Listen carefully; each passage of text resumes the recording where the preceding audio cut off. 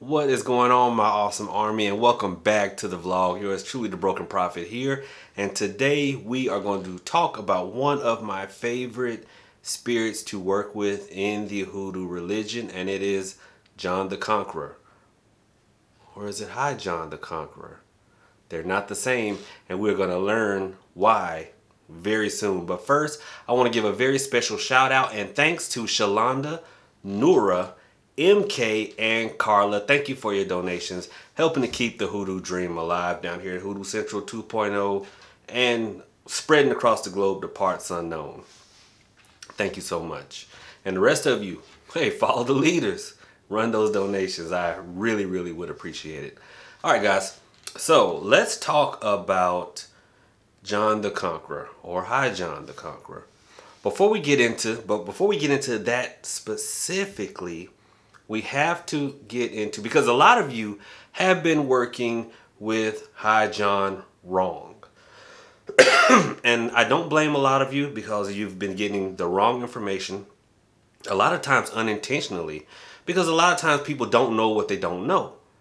Case in point, I tell you guys all the time, Hoodoo was born from the American South and the South has its own culture a lot of times we have our own language. And if you're not aware of that, you may think you're hearing one thing when in reality, we're saying something totally, totally different. Um, for instance, I'm going to give you a couple of examples. And a lot of the hoodoo that you see now, just let me back it up a bit. A lot of the hoodoo that you see now comes from one source, and that source is Harry Middleton Hyatt a couple of huge companies in hoodoo at least have built their entire reputation off of Harry Middleton Hyatt. Harry Hyatt was a white minister who for some reason took it upon himself to venture throughout the South wanting to chronicle African American folk magic, as he coined it. Hoodoo, voodoo, conjure, all the different terms, right? So he traveled throughout the South with money in hand. He found a guide. A lot of times it was a taxi driver or something like that. He asked about a root worker, a conjure doctor, whatever. They said, Yeah, I know someone. They took them there. He had his trusty tape recorder. He asked them questions. They answered it. To his credit, I do believe that he never intended for this to become a how to manual of hoodoo. He was what now we would consider a cultural anthropologist. He just found it interesting and took it upon himself to want to document it. It's only the marketeers who decided to turn his workings in well his yeah his writings, workings, whatever, into a hoodoo how-to manual. And they've profited off of it. But the thing is, what nobody wants to address is the fact that we are some very secretive and cliquish people down south. We will be very polite to you and while we're cussing you to your face. If you ever heard a southern person say, oh, bless their heart, you know we ain't trying to bless your heart. You know we not. You know, that's like that's like saying, oh, it'll be alright. If you if you from the hood, you know what that means. I was in line at the post office one time and someone walked in, and it was a long line because there's always a long line at the post office, right? And someone walked in, hey, could, um, the blue the blue van is kind of blocking me in a little bit. Could somebody come move? And somebody said it'll be all right. You know what that means? That means F them, right? I'm not getting out this line to move my car. bless your heart means the same thing. Like, oh, such and such. Oh, bless their heart. You know what that means. And that is just rampant in the in the South. We, like we just use terminology that is kind of cussing you, but it ain't cussing you, right? For people to think that a white minister back in those days could go in the into the South and come away with legitimate workings is preposterous. It is preposterous for people to, I mean, nowadays it's hard for somebody to give you a legitimate work if they don't know you, right? So I say that to say a lot of the workings that came away were false, And the ones that were legitimate were coded. But people weren't intentionally coding them. They were just speaking Southern speak. For instance, if you, this isn't working. If I told you, in order to harm your, en- your enemy, you're going to need a spider, two scorpions, and two brown eggs.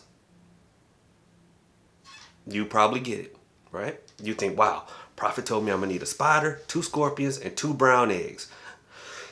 and you would gather your ingredients and follow it to the letter and come out wrong. Why would you come out wrong? Well, down here, this is a spider. I don't know why. It just is. A scorpion is a is a little blue lizard down here. Come on, my southern folks, y'all know the little blue lizard with the with the long with the long tail. It's actually a, a, a blue striped skink. I think. Look it up. And a brown egg is a penny.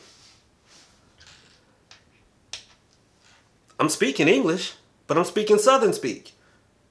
I'm, I'm giving you the ingredients, but you're hearing something totally different and you're doing something. And a lot of people are doing that when it comes to working with John the Conqueror because you don't understand this is a John the Conqueror root. High John the Conqueror is a spirit. Also, this, but a little different. To learn how to work with John the Conqueror, you've got to learn which one do I need for this work. Do I need John the Conqueror root or do I need High John the Conqueror? Why is High John different from John the Conqueror root? Again, we're talking about Southern speak. When you look at the sheriff's department, right? You've got one sheriff and a bunch of deputies. A lot of people don't know that. One sheriff, a bunch of deputies. The one sheriff, the elected official, down here, we call him the high sheriff. He is the main sheriff. The rest are just deputies. So, with that being said, High John, you get it now, is the main John. He is the spirit and he directs the roots. So, you can use John the Conqueror root in your workings to um, to help enhance and things like that. But High John the Conqueror, the spirit, is the one that will that you petition to go out and do different workings for you. This is John the Conqueror root. On that altar right there with that candle's burning is High John the Conqueror, the spirit. Probably done taught you more in eight minutes than any of those books you've got. now, let's get into how to correctly petition High John the Conqueror, the Spirit.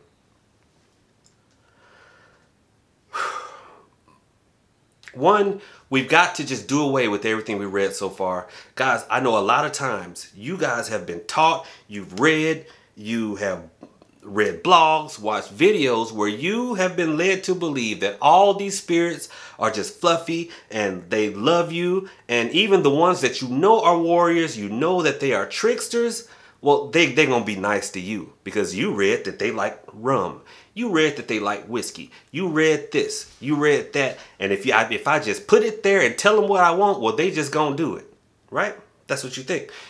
You have been led to believe that all spirit work is just strictly transactional. If I do this, they're gonna do that. Guys, that is not the case by a long shot. And we have been led to believe that because we live in a world that is so antisocial. The world is so antisocial to the point where we don't know how to build relationships, and that is what has to happen, not just with High John, but with any spirit. You've got to build a relationship. As with any 99.9% of the hoodoo books and materials out there, is only half of the equation. Y'all are putting up altars and leaving out offerings like y'all trying to trap a squirrel. Like I'm just gonna wait till you get here. That's only half of it. When you put out an offering or you set up an altar, yeah, you're trying to call the spirit there, but the other half is building a relationship with it. Him, her, whomever. You build the relationship. I asked someone What do you think the cornerstones of any relationship would be or should be? and this person said, Well, I really don't know because I don't really engage with people unless I have to. And that is part of the problem nowadays. It is so hard for a true introvert not just to work within these religions, but to engage with the spirit because relationship or interpersonal skills are lacking nowadays. But don't worry, I got you. It is easy. One, you want to be consistent. When you build that altar or when you approach that spirit, be consistent. Let them know, hey, I'm going to be here. Excuse me. All the time. Well, not all the time, but every Wednesday. And no, I'm not talking about any Mars Day or no. I'm just gonna be here Wednesday at seven o'clock, and I'm gonna talk to you. Here's your offerings, but this is who I am. Introduce yourself for one. The cornerstones of any type of social interaction are also mutual experience. John, High, John the Conqueror. If you know any of the stories, he loves playing tricks, especially against white people. He loves that. So, if you have a situation against someone of that particular race, I already said white people, that's something he can get down with. Okay? Tell jokes. Even if you don't, even if it's not a white person, tell, tell him a story about something that happened at your job or something like that. Get his attention. You probably can't see because it's dark and it's far away and this camera kind of blurs the background or this lens does. But I have a deck of cards. He loves games of chance. He loves games of chance. You can put some dice over there. Common interests. Another cornerstone of relationship building is also, at times, quid pro quo, something for something. Once you got his attention, which you can tell, candle flickering, whatever, you can tell when he's there. But you know what? I got, I got this nice whiskey here. That's not whiskey. like I have this nice whiskey here. Hey, if you can see fit to do this for me, I, I pour us a couple of glasses. Okay? And that is the last cornerstone, which is just mutual respect and admiration. When I work with High John, I don't just pour him a glass of whiskey. No, we toasting together. And, and we shoot, we toasting it up. Like, man, you know, it's plenty more where this came from, especially if you come through. Converse, conversate with whichever one. Talk to the spirit. Get to know them. Start asking, like, hey, John, I really can't tell when you here or not. Cause so can you do me a favor and put, uh, I'm gonna leave this glass of water here, put some bubbles in it for me. Let me know you here. Stuff like that. It has got to, it has got to be a back and forth. It has got to be. Now, while we're on, we weren't on the subject of race, but I will back it back to that. For my, you know, my white brothers and sisters, it will be very hard for you to work with High John. And I'm just being honest, it will because if you know or have heard any of the stories, all he did was play tricks on white people. And a lot of times he will still do that. I'm not saying it is impossible for you to work with him. I'm just saying it'll be very hard because that's still who he is. Okay? You may think, oh no, John the Conqueror loves me. Meanwhile, he is play. You know the type of trick that he will play? How many hoodoo books have you bought? How many courses have you bought? How many videos and, and, and, and everything have you spent time into for minimal results? You've been hoodwinked. That's some of his bamboozlement, his tomfoolery, his skullduggery, all of that. Okay? if you persist and, and can take all of that that he dishes out, then maybe you'll see some movement going forward. And also, guys, you know, to my melanated brothers and sisters, it might be the same thing. A lot of times, High John wants to know where your heart is. If you keep bothering him about some of the most mundane stuff, like don't ask High John to show himself by cutting your lights on when you know you can walk over there and flip the switch. He is not going to like that. We have got to get out of the mindset that these are not living and thinking entities. they get mad, they get sad, they get lonely, just like we do. And they also know when people are just trying to use them. That's why it's important. That's why I spent so much time with you talking about building a relationship. Because let's say he likes whiskey and he, you know, he likes whatever. If you, you watching this video was walking down the street and let's say your favorite thing in the world is pancakes and here comes somebody with a hot, I got you some pancakes. You like, man, if you don't get up out of here, I don't know you. Spirits feel the same way. And I don't care who, look, it can be Oshun, because y'all love Oshun. It can be um, Ogou Feray. It can, it can be doggone anybody, any spirits. Don't, don't try with a Palo spirits. It can be any spirits. If they don't know you, why they going even if they do take your offering, there's nothing to say that they're to do what you ask. No matter how wonderful your petition paper is, no matter how beautiful your beautifully your candle is dressed, if you have not built that relationship, there's nothing to say they have to do it because you wouldn't do it. If someone that you didn't know walked up offering you something, you know, unless you would. I need to stop making jokes about crack because it is not funny at all. but y'all, y'all get where I was going. So now we're, we're talk, we have talked about High John, how to build a relationship, how important it is. Let's talk about John the Conqueror root. John the Conqueror root, I like to call it a battery. No matter what you're doing, John the Conqueror root can power it and make it that much better. John the Conqueror root, if you, let's say on a scale of 1 to 10, if you've got enough spiritual juice, like, let's just say your spiritual, if your spiritual power was gasoline and you couldn't power an ant's motorcycle to go around a raindrop, you add some John the Conqueror root, you might get up from a 1 up to like a 4 or 5. It does boost the effectiveness and the spiritual output of things. Um,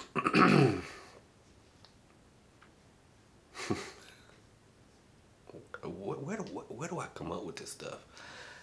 it is good as an incense. It is good powdered. It is good as the whole as the whole root. Now, to go from John the Conqueror root to High John the Conqueror, you dress it in whiskey and pray over it. Now, at that point, never, ever, ever try to break off a piece, file it down for powder, anything like that, because at that point, it is now High John the Conqueror, and he does not like that. So once you blessed it and consecrated it, do not use it as if it's a regular root again, because it is not. Now it's just the deputy. You don't ask the high sheriff to do certain things. Now, with that being said, one thing that I like to use High John the Conqueror for is if I have some ingredients that don't play well together. For instance, um, calamus is a controlling root, so is licorice, but they don't play well together. Calamus is more forcefully controlling, whereas licorice is more coercive. Calamus tells you what to do, licorice will ask you to do something, and the energies are different. As such, they don't like to be together. But if I add High John with it, him being the high sheriff, he can kind of like yoke them together and control them to get whatever it is I need done done. Does that make sense? Him being the high sheriff, he can rein some energies in and push them towards a common goal even if they don't normally play well together. Whew. Look, we're at the 20 minute mark. I need to get up out of here. I feel like I've given y'all a lot of information. If you've gotten any value out of this, please hit that like button, hit that subscribe, hit and hit that bell so you know when I am going to drop another video and especially when I'm going live. and as promised, this upcoming Saturday, I am going to do a live webinar and I'm going to drop the link both in the community tab but also in the um, in the comment section of this video. Okay? Alright guys, thank y'all so much. I really appreciate you sitting here with me and happy Hoodoo Sunday. Prophet out.